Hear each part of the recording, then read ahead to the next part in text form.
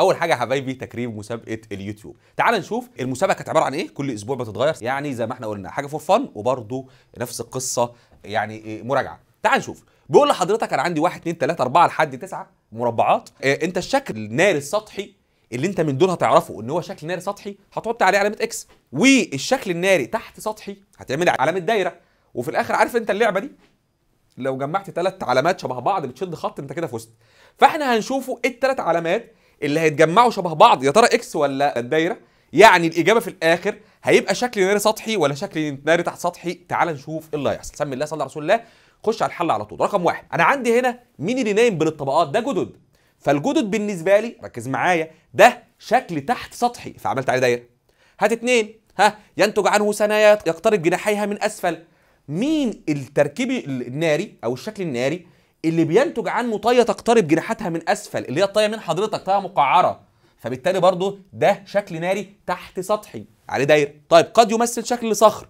مين يا باشا؟ سمي الله صلى على رسول الله. اللي لونه أسود ونسيجه آه، زجاجي وعديم التبلور. ده الأوبسيديان.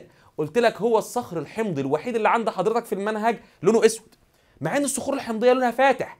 راجع معايا كل الكلام ده أنا قايله كل الكلام ده طلاب الجمال قلوب كتير هنا الطلاب يا حبايبي عارفينه ومذاكرينه كويس بفضل ربنا. أربعة مين اللي نسيجه فقاعي؟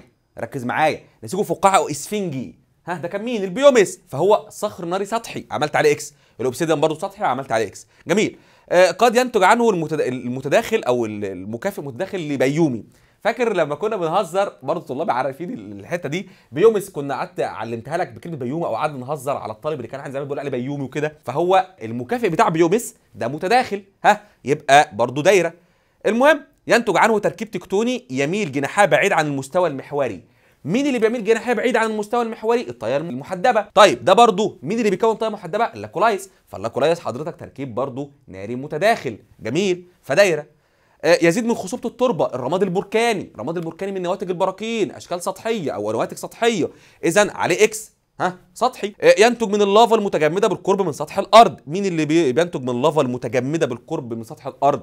ده المقذوفات أو القنابل البركانية. برضه سطحي على X هنا نسيجه في حبيبات كبيرة وصغيرة فنسيجه بروفيري فعلى دايرة. في الآخر خالص لما تعمل أنت الكلام ده بعينيك طبعا بتاخد screenshot لل... لل- للمسابقة عشان تعرف تحلها أو توقف الفيديو. شغل دماغك شغل البصلة دي. شغل فصوص مخك فصوص مخك إيه؟ شغل فصوص فان دي الله يبارك لك معايا. المهم آه، تاخدها screenshot أو توقف الفيديو وبتعملها بعينيك كده بسرعة فبتلاقي حضرتك إن الدواير جت كده مفيش إكسات ممكن تتجمع. لكن دول كده آه، بقوا بخط فاللي فاز معانا أو أو المسابقة دي يعني اتحل إزاي؟ بواحد وخمسة وتسعة. يبقى الأرقام واحد وخمسة وتسعة. ركز الله يبارك لك اللي هم الجدد وشكل ناري تحت سطحي. اللي فاز معانا سمي الله صلى على رسول الله الشيماء محمد سيد. بكرم الناس أهوت قدام كل الناس والتيم كمان هتواصل برضو معاهم. ولسه الجايات كتير. ها؟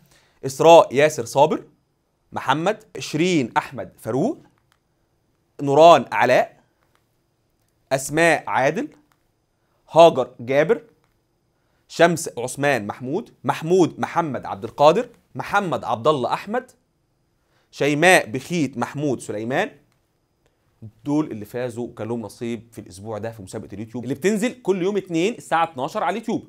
وفي ناس هتتكرم إن شاء الله برضه الأسبوع ده وكل أسبوع في مسابقة الفيسبوك اللي بتنزل على الفيسبوك كل خميس الساعة 12 برضو على صفحتنا الرسمية على الفيسبوك. فضل ربنا والتكريمات جاية كتير والجايات أكتر كتير. وأهم حاجة والله زي ما قلت قبل كده ناس بتزعل شوية إن الجو ما كرمهاش قلت كتير وهفضل أقول تكريمك الأساسي هو إن ربنا شايف مجهودك وتعبك. تكريمك الأساسي إن ربنا يكرمك آخر السنة دي بمجموع كويس. تكريمك الأساسي إن ربنا يرضيك ويرضيك آخر السنة دي بفضل ربنا بحاجة تجبر خاطرك.